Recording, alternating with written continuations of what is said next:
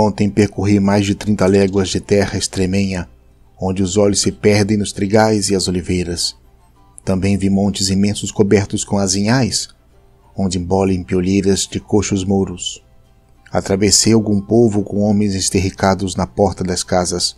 Por cima da liamenta chã dos telhados erguem-se castelos em ruínas solares fidalgos.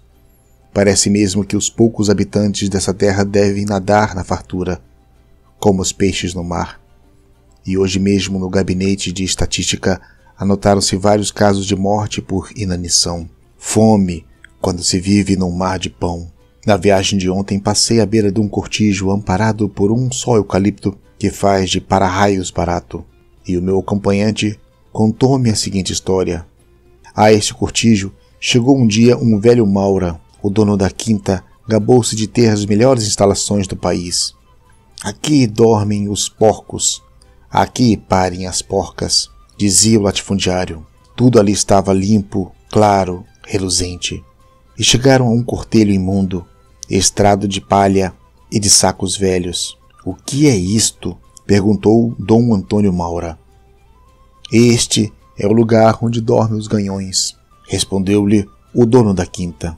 E então Maura deu-lhe este aviso, a modo de conselho pois procure o senhor que não acordem. O conselho de Maura não logrou entrar na mioleira dos latifundiários extreminhos, e perdeu-se como se perdem outros muitos. Por outra banda, a gente daqui não acorda porque a fome dá sono.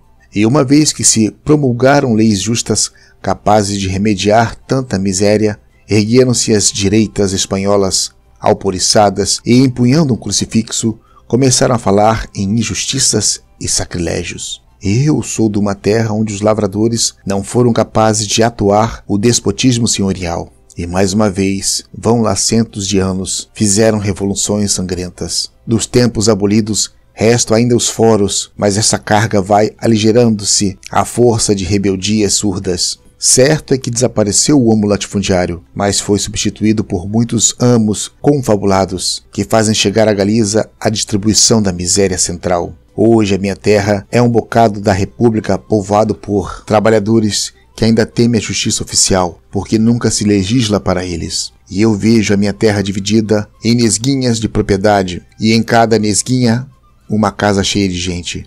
Há fome nos lares, e a miséria do minifúndio vai entranhando-se na alma dos lavradores, mas continuam acessos no afã de trabalhar e de possuir.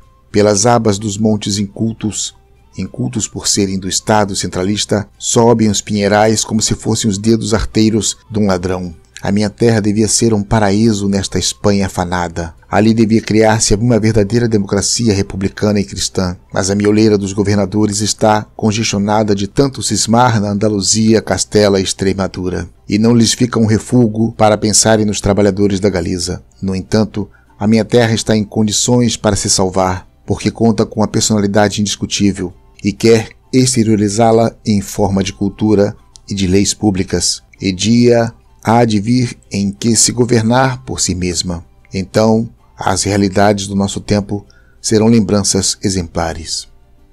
Castelau, sempre em Galiza.